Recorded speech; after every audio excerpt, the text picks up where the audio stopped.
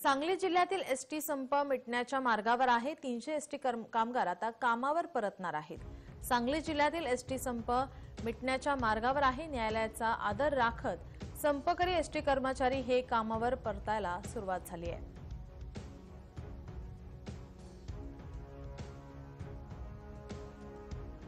आठ एप्रिलपासून आजवर अठ्ठावन्न कर्मचारी कामावर परतले तर उर्वरित तीनशे कर्मचारी हे मंगळवारी कामावर रुजू होणार आहेत.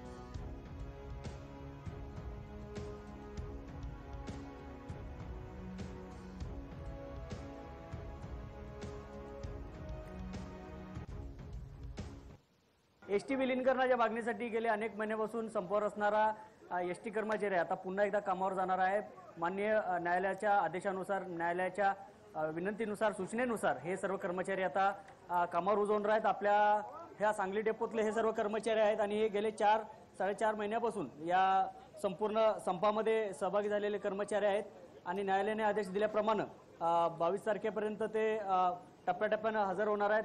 आतापर्यंत साधारण अठ्ठावन्न लोक हजर झालेले आहेत आणि आणखीनही दीडशे ते दोनशे लोक हे उद्यापर्यंत हजर होतील अशी या ठिकाणी परिस्थिती आहे. नेमक्या कर्मचाऱ्यांचे काय भावना आहेत आपण जाणून घेणार आहोत बापू. कर्मचारी हजर व्हायला सुरू झालेले आहेत. नेमकं काय कारण आहे? सर्व कर्मचाऱ्यांना उच्च न्यायालयाने आदेश दिला होता की बावीस तारखेपर्यंत तुम्ही हजर व्हा. तुम्हाला कुठलीही कारवाई खात्याअंतर्गत कुठलीही कारवाई करणार नाही. सर्व कारवाई मागे घेतल्या जातील रद्द केल्या जातील. त्याप्रमाणे कामगारांनी प्रशासनाचा आणि न्यायालयाचा. आदर करून सर्व कर्मचारी टप्प्याटप्प्यानं कोणाचं मेडिकल असेल कोणाचे कारणे दाखवा नोटीस असतील कोणाचे अपील असतील ते देण्यासाठी आगारात जमा होत आहेत. कामावर मुद्दा संपायचा विषय नाही. विलिनीकरणाच्या मुद्द्यावर जे लोक आम्ही संपात होतो किंवा दुखवट्यात होतो आंदोलनात ते अजूनही आम्ही विलिनीकरणाच्या मुद्द्यावर ठाम आहे. जनतेच्या सेवेसाठीच आम्ही सगळेजण होतो आणि आमच्या न्याय हक्कासाठी आम्ही लढत होतो.